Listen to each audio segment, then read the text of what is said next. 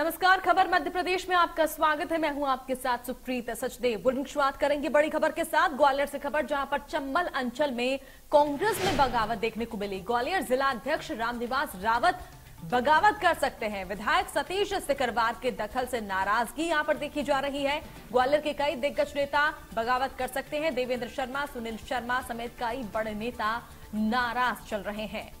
तो बड़ी खबर ग्वालियर से आपको बता रहे हैं, जहाँ पर चंबल कांग्रेस में नाराज़गी यहाँ पर देखी जा रही है। देवेंद्र शर्मा का नाम सामने आया जिलाध्यक्ष देवेंद्र शर्मा को बनाने पहुँचे हैं नेता।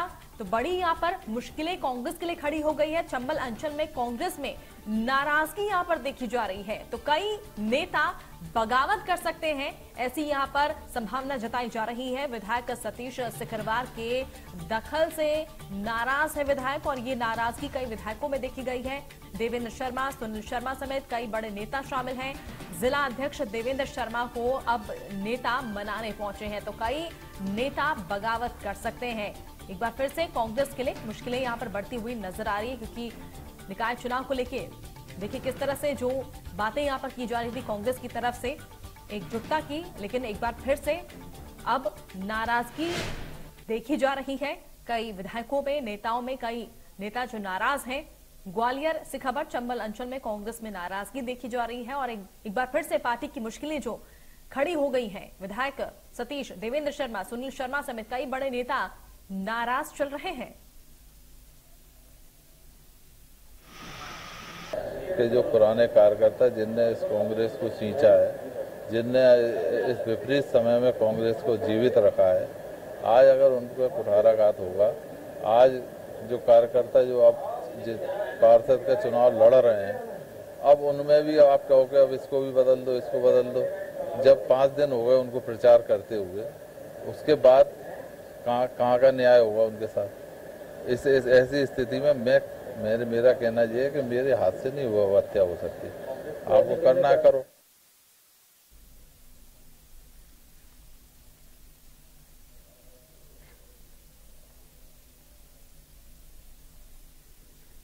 और इस खबर पर ज़्यादा जानकारी के लिए सीधे रुक कर लेते हैं। ग्वालियर से हमारे सहयोगी संजय शर्मा का।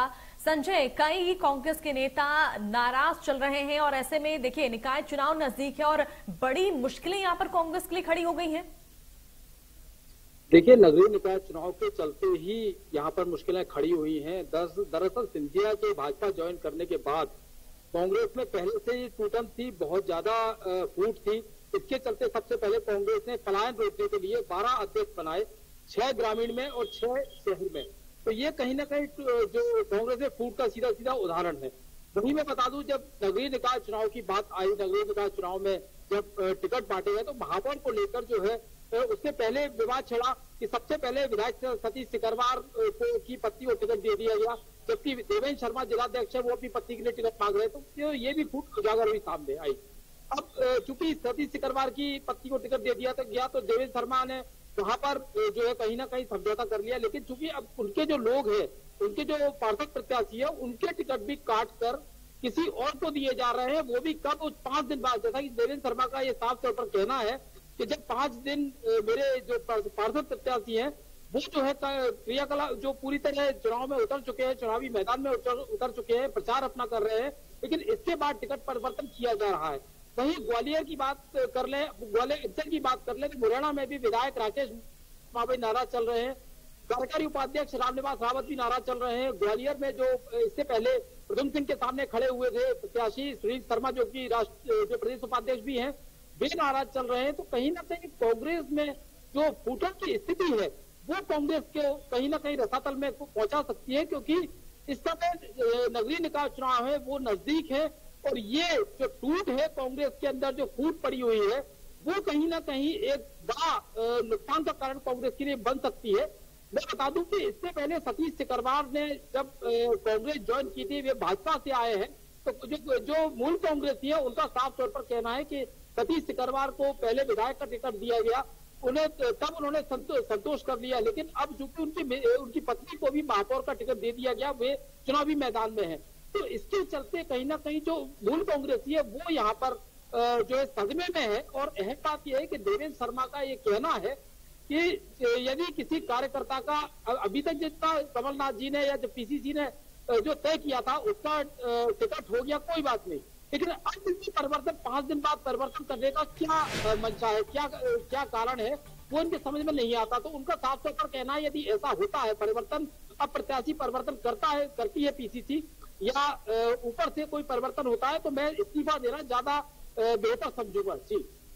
बिल्कुल, और ऐसे में क्या लगता है संजय, किस तरह से यहाँ पर कांग्रेस इस मुश्किल से बाहर निकलेगी? क्योंकि मनाने के लिए तो नेता पहुँच चुके हैं। यहाँ पर जो पीसीसी कोषाध्यक्ष हैं अशोक सिंह वे वहाँ पर मनाने पहुँचे हैं, उनके घर पर पहुँचे हैं, उनके घर के बाहर जो है कार्यकर्ताओं का जमावड़ा लगा हुआ है, तमाम सारे वरिष्ठ नेता भी वहाँ पर पहुँचे हैं। लेकिन अहम बात यह है कि जब तक देवेंद्र शर्मा के, को लगेगा कि उनके कार्यकर्ताओं के, उनके जो पुराने कार्यकर्ता हैं, कांग्रेस को, उनका टिकट काटा जा रहा है या टिकट परिवर्तन की बात आ रही है तो देवेंद्र शर्मा को मनाना मुश्किल होगा इनके लिए। हालाँकि तमाम सारी कवायद जारी है। बात पीसीसी तक भी पहुँच चुकी है, कमलनाथ तक भी बात पहुँच चुकी है। लेकिन अहम बात यह है किस तरीके से नेता उनको मना पाते हैं, कांग्रेस नेता उनको मना पाते हैं, चूँकि देवेंद्र शर्मा भी पुराने कांग्रेसी रहे हैं तो माधुरा सिंधिया के समय से कांग्रेस रहे हैं तो एक बड़ा चेहरा है देवेंद्र शर्मा, और कांग्रेस क्यों उनको साफ़ तौर पर कहना है, वे कांग्रेस के मूल कार्यकर्ता के पक्ष में है, जो बाहरी कार्यकर्ता है, जो बाहरी नेता है, जो अलग से दूसरी पार्टियाँ टूट कर आए हैं। उनके पक्ष में वे यहाँ पर नज़र नहीं आते हैं। वही प्रवीण पाठक विधायक है, वे भी उनके पक्ष में नज़र आ रहे हैं। तो कहीं ना कहीं एक बड़ा नुकसान यहाँ पर कांग्रेस को झेलना पड़ सकता है नगरीय निकाय से पहले। यदि कोई इस तरह का कोई फैसला देवेंद्र शर्मा लेते हैं तो क्योंकि उनके साथ में सुनील शर्मा भी जाएँगे, जो इससे पहले जो प्रदुम सिंह के सामने लड़े थे, ऊर्जा मंत्री के सामने प्रत्याशी रह चुके हैं विधानसभा के। इसके बाद जो राकेश मावई है, मुरैना विधायक, वे भी हालात में बदल सकते हैं। तो एक बड़ा जो टूट फिर से होने जा रही है, ये कह सकते हैं। क्योंकि कांग्रेस से किस तरीके से निपटेगी, ये देखने वाली बात होगी। हालाँकि पीसीसी लगातार प्रयास कर रही है और नेता उनको उनके घर पर पहुँच चुके हैं देवेश शर्मा के, क्योंकि सबसे बड़ा चेहरा ग्वालियर में है, वो देवेश शर्मा ही है कांग्रेस का, जी। बिल्कुल, बड़ी चुनौती यहाँ पर कांग्रेस के लिए बनी हुई है। बहुत बहुत शुक्रिया, संजय, तमाम जानकारी हम तक पहुँचाने के लिए। और आगे वाले दिनों में देना, देखना होगा कि कांग्रेस किस तरह से इस चुनौती से निपटती है। मध्य प्रदेश, छत्तीसगढ़ की हर खबर। सीधे आपके मोबाइल फ़ोन पर। अभी सब्सक्राइब करें हमारा चैनल और पाएँ पल पल की खबर।